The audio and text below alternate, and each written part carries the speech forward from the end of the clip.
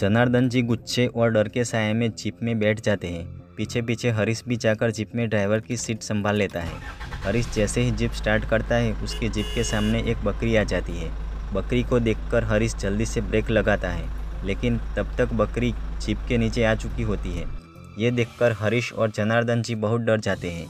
हरीश के माथे पर पसीने की बूंदें चमकने लग जाती है। कोई लड़ने और मुआवजा मांगने न आ जाए, ये सोच हरीश जल्दी से जीप स्टार्ट करता है। लेकिन जिप स्टार्ट नहीं होती। हरीश फिर जिप स्टार्ट करने की कोशिश करता है, लेकिन जिप स्टार्ट नहीं होती तो जनार्दन जी जल्ला जाते हैं और कहते हैं, अब ये जीप क्यों नहीं स्टार्ट हो रही? कहीं इसमें उस बकरी की आत्मा तो नहीं घुस गई? ये सुनकर भी हरीश कुछ नहीं कहता। वो जिप से उतरकर जीप का पेट्रोल चेक करने लग जाता है और मन ही मन डर रहा होता है कि कहीं कोई आ ना जाए इस बकरी का मालिक बनकर। हरीश जो मन ही मन सोच रहा था, वो सच हो जाता है। बकरी का मालिक हरीश के सामने प्रकट हो जाता है। उसका मुँह गुस्से से लाल हो रहा था। वो एक आधेड़ उम्र का व्यक्ति था। उसके धोती कुर्ता मेले थे। सर का साफा भी बहुत गंदा था। और उसने कानों में सोने के गहने पहन रखे थे और उसने एक हाथ में मोटा चांदी का कड़ा पहन रखा था। उसके हाथ में एक मोटा डंडा भी था, जिससे वो बकरियाँ हाँकता था। वो मोटा डंडा चिप पर मारते हुए बकरी के मरने का वही ज़ोर से रोककर मातम मनाने लग जाता है और हरीश और जनार्दन जी से अपनी बकरी को मारने की कीमत मांगने लग जाता है। मारी बकरी मार दी तुम लोगों मारी बकरी पाँच से दूध देती थी। अब मारा टाबर के पीसी बताओ।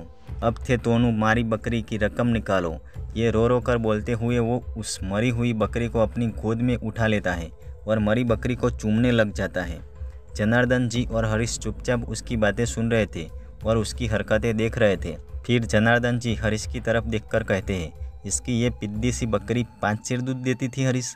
हरीश कहता है, ये सब पैसे ठगने की तरकीबें हैं सर, इन लोगों की। अब हरीश उस बकरी वाले को चिल्लाकर कहता है, थारी बकरी अगर इतना दूध देती थी तो इसे ऐसे क्यों छोड़ रखा था? यहाँ इस तपती लाए में और ज़्यादा चालाकी तो मारे से करिए मत, मैं बाहर का कोणी हूँ। ये गाँव का ही हूँ, समझा कि ना समझा? और या तो सरकार की ज़मीन है, अट आना भी मना है। फिर थारी बकरी अटक क्यों कर पहुँची बता? मुफ़्त की खान की आदत पड़ गई है थे घाव वालन की।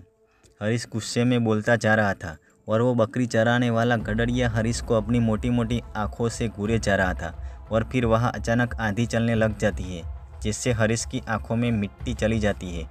वो अपनी आँखें मसलने लग जाता है। जनार्दन जी भी अपनी उड़ती धूल के कारण अपनी आँखें मसलने लग जाते हैं। फिर जैसे ही दोनों अपनी आँखें खोलते हैं तो वहाँ उन दोनों को न बकरी दिखती है, न वो बकरी का मालिक नज़र आता है।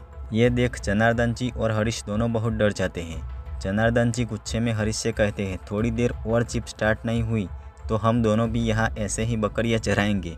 भूत बनकर, समझे तुम? अब जल्दी से कोई और इंतज़ाम करो यहाँ से निकलने का। हरीश और जनार्दन जी को वहाँ उस जगह से निकलने के लिए कोई साधन नहीं मिलता है। मिलता भी कैसे? खंडहर और उचड़े गाँव में इक्के दुक्के मकान ही बचे थे, और वहाँ से पैदल निकलना भी बड़ा मुश्किल था। एक तो रेत के बड़े बड़े ढीले और सर पर तपता सूरज, अब उन दोनों के पास पीने का पानी भी खत्म हो रहा था, और खाने को तो वो लोग कुछ लाए ही नहीं थे। जनार्दन जी हताश हो रहे थे, और हरीश किसी तरह जीप ठीक करने में लगा था। दरअसल जीप का इंजन बहुत गर्म हो गया था। और वो बंद पड़ गई थी। हरीश हर तरह से उसे ठंडा करने का जुगाड़ कर रहा था पर कोई फ़ायदा नहीं हो रहा था। अब उन दोनों को बूतों से डर कम कहीं यहाँ रात न बितानी पड़ जाए, इस बात का डर अधिक लग रहा था। बूतों से डर कम का कारण अभी तक जनार्दन को कोई खतरनाक बूत नहीं मिला था। जितने भी मिले थे, सब उनको दर्शन देकर गायब हो जाते थे। अब धीरे धीरे रात गिर रही थी और मौसम भी ठंडा हो रहा था। वो सुनसान जगह अब और अधिक सुनसान और डरावना प्रतीत हो रहा था।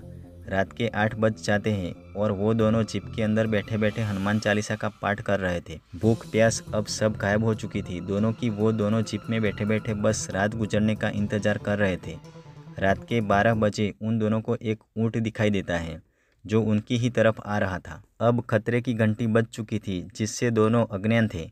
तो दोस्तों, आपको यह हॉरर स्टोरी कैसी लगी, नीचे कमेंट करके ज़रूर बताएँ और इसे अपने उन दोस्तों के साथ भी शेयर करें जिन्हें हॉरर स्टोरीज वीडियो पसंद है। अगर आप इसी तरह और भी हॉरर स्टोरीज वीडियोस देखना चाहते हैं तो इस चैनल को सब्सक्राइब करें। Thank you